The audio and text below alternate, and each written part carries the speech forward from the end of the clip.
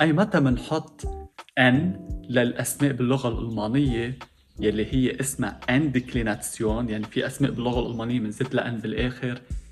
هون رح ناخذ الدرس الثاني من أهم القواعد للغة الألمانية لمستوى ال B eins فتابعوني للآخر اشتركوا بالقناة وفعلوا جرس التنبيه وخلينا نبلش.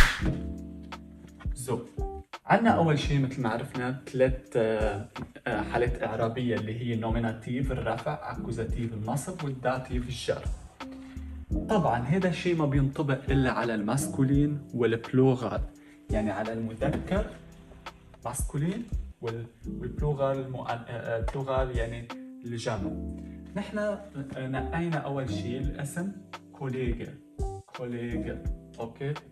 طيب هذا الاسم شو منتهي؟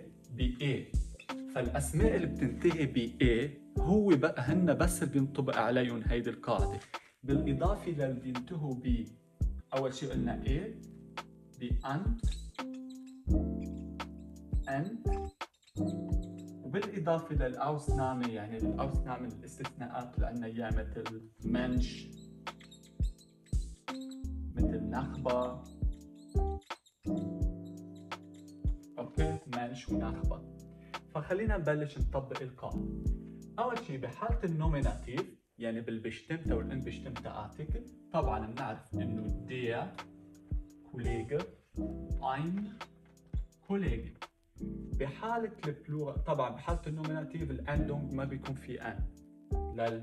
لل Kollege يعني ما بنقول der Kollegen لا. بال Akkusativ der بتصير den صح. der بتصير den وال ein بتصير einen okay؟ طيب هون شو بدنا نحط؟ n. يعني بتصير den Kollegen. den Kollegen. ما بقول den Kollege. den Kollegen لأنه هو من ضمن الأسماء اللي بتنتهي ب E وبحالة وهو مذكر.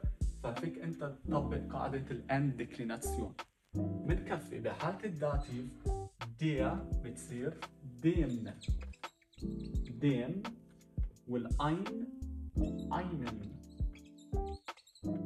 einem dem و einem طبعا ال Kollege كمان شو بدنا نحط لها بالآخر؟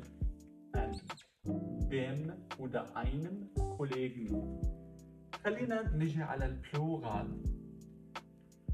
Plural طبعا ال Plural اللي bestimmter اللي bestimmter Artikel تبعها أو ال definiter Artikel هي die die أما أكيد ما عندها indefiniter oder unbestimmter يعني هي هون ما عندها. بس die Kollegen Kollegen لأنه جمع Kollege أساسا هي Kollegen okay؟